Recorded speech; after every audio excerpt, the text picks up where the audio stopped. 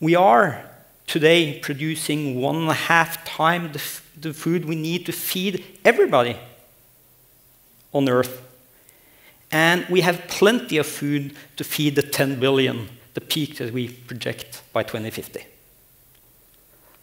But one third of the food that we produce are lost on the way.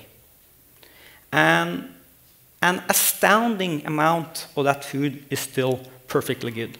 About 80% of the food we waste are still perfectly edible and would taste fairly good. I'm going to spend the next 10 minutes or so trying to tell you that this is something we can address and this is something we can do. It will require a little bit of insight. It will require a dash of technology. But first and foremost, it requires each and every one of us to go about our daily business just a little bit cleverer and a little bit smarter. But for, before I go into the solution, I want to just kind of drag you to why we have this problem. Um, I don't know if you can kind of recognize uh, yourself in, in this picture. Um, but it does remind me of my baby brother. Uh, he's a lawyer, uh, his wife's a lawyer, and I'm pretty sure their baby is going to be a lawyer. Uh, and lawyers tend to take written information literally. And that basically means when it's old, it's out of here. And that happens to a lot of us. Now, there are two main reasons why we throw away perfectly good food. First of all, we make too much of it, and we throw disregard the rest, the leftovers. And secondly, it expires. About 60% of the household waste and more than 90% of the in-shop retailer waste are because products are expired. But most of them are still good. Now, I want you to meet two friends of mine. This is Fred, and this is Myra. Now, Fred and Myra has had rather spectacular lives uh, considering the fact that they're salmon and they're dead. Uh, they were born in a fish tank uh, at Hitra, together with mm, a few hundred thousand close relatives. Uh, they grew up in a fjord, not too far from here. They were brought, they were slaughtered, they were brought to Stranda, where they were butchered packaged, and basically made to look nice. They were put in a rather large truck, driven 15 hours across the mountains to a huge warehouse outside of Oslo, where I live. They spent a few days in the warehouse, were picked up by a smaller truck, and driven to a store in between my house and my office. And earlier this week, I went to pick up Fred Myra. Now, one of these fishes has spent four days in my fridge. The other fish has been spending four days on my desk at my office. I don't know which one. They both came with me on the SAS flight. They had no problem whatsoever going through security. Um, they did complain a little bit when I put them in the overhead compartment. They would have preferred window. Uh, and they spent uh, last night at a nice hotel in downtown Trondheim, courtesy of Ted. Thank you, guys. we appreciate it. Uh, but we didn't have a minibar, and there have been with us throughout the day. They both look the same. They actually they look pretty nice. Um, if I were to open them, they would smell pretty much the same. Trust me, I've tried this before.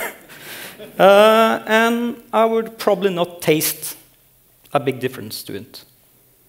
And hey, they expire on Monday.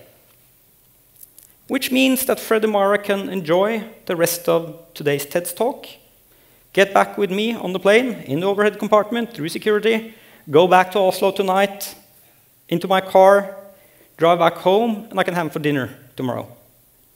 So would any of you like to join me for some sashimi tomorrow uh, on fish that is spent about a week out of the fridge and this week at TED? I know. Uh, I don't think I would. And it is a silly point, but it's a simple illustration to the fact that the quality of a first piece of salmon or a piece of meat or a piece of chicken doesn't really relate to when it was produced or where it was produced, but it has all to do with how it is handled from production until it ends up on my dinner plate. And for a lot of fresh products, even small changes in temperature has a tremendous effect on the shelf life of the product. If you keep a Myra at 8 degrees, she will spoil in about four, four and a half days. If you keep the same fish at 4 degrees, she will last for two weeks. And perhaps even more importantly, if you keep the same fish at 2 degrees, she would last for 17, almost 18 days.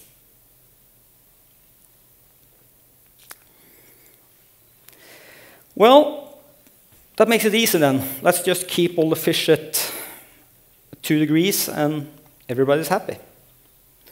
Uh, unfortunately, it's not that easy. Uh, this is my fridge. Well, actually, it's not my fridge. It could have been a fish. It's a really nice picture of a fridge. If you take away all the green stuff, it perhaps could look a bit by, by, like mine. But anyway, uh, I did to put two temperature sensors into my fridge just to see what Fred and Myra had experienced. And these are the results. In the bottom shelf of my fridge, this is what happens. I put them in on a Friday, check the temperature, it was 1.8 degrees. That's perfect. Two hours later, it was 6. Then we're down to 4, 2, unfortunately, and then back to 6 again. And if you look at my top, the top shelf on my fridge, it's even worse. And the scary part is, is that this happened during the night. While I was sleeping and the door to my fridge was closed. Now, you might all expect that I was extremely cheap when I went out and bought a refrigerator. After all, I do, not know too much about food science. Um, but we've done a little study, and we've gone through more than 100 refrigerators now. And we see that an average temperature in a Norwegian fridge is 6 degrees. One in three fridges have an average temperature of more than 8, and there's 5 to 6 degrees of difference between the top shelf and the bottom shelf of a fridge. What can we learn from this? Well, if I keep this thing on my top shelf, it will last for 5 days. If I keep it at the bottom shelf of my fridge, it will last for additional 10 days. And it will taste a lot better Trust me. With the new insight I'm hopefully been able to show you, we have three choices. Uh, first of all, we can ignore what I just told you, that temperature varies, that the fridge is difficult, that store cooler is difficult, that truck is difficult. And we can just assume that this fish is kept at one steady temperature. That's what we call date labeling, and it will require you to put the entire content on your fridge in the middle shelf, which is difficult.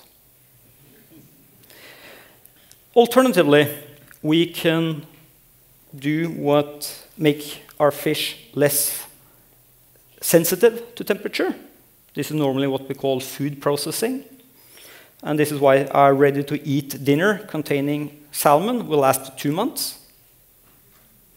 Or we can accept the fact that temperature and the world is dynamic and we can adapt to it and I propose the latter. Now, we've spent quite a bit of time and effort over the last years to try and to figure out a quick and easy and simple way to figure out which products, which food to eat, and which to waste. And this is our proposal. Uh, we've made a small adhesive label. We call it a Keep It. It has a blue bar that gradually disappears. Think of it as a flight recorder or a battery indicator. Uh, we put them on products when they are produced and they're following each individual package through their value chain and let you know how long one piece of food is safe to consume. To my great uh, surprise and astonishment, uh, these two fishes actually had a keep it indicator when they were produced, which makes it easy for me to see that this is the one that's been on my desk for a week. This one should be consumed today, even though it expires on Monday. And I would like you all to meet Laura, because I did buy three pieces of fish this week. This is a picture of Laura in my fridge yesterday. I kept her at the bottom shelf, and Laura will be safe to consume for another six days. That's four days more than the expiration date. So instead of having to eat salmon as the first thing I come and when I come home tomorrow, I have the flexibility and the opportunity to plan ahead and use this fish a lot longer than my brother would. Now, does this scale up in practice? Um, we did a little experiment in about 20 stores in Oslo last summer. Uh, we had a pallet of premium salmon loin. It had expired. It should normally have been wasted, but it had our technology on it, and our indicators showed it had four days of shelf life remaining. So we were able to convince the retailers of, okay, guys, instead of throwing away a pallet of fish, let's see what happens if we put a sign and a poster out in the stores. And we put some hand carved uh, hearts on them, informing people what it is. And trust me, it takes a long time to kind of hand carve enough hearts for a pallet of fish, especially when you only use a nail scissor. Within six hours, we had sold the entire pallet. Uh, one of our stores was completely sold out within 45 minutes. And nobody complained. On the contrary, the shopkeepers were giving a lot of positive feedback from the consumers. And what I really like is the fact that everybody won. The shopkeeper got a little money for a fish that he would a lot of consumers got a great deal on a great dinner, and we didn't have to waste a complete pallet of perfectly good fish. Everybody wins.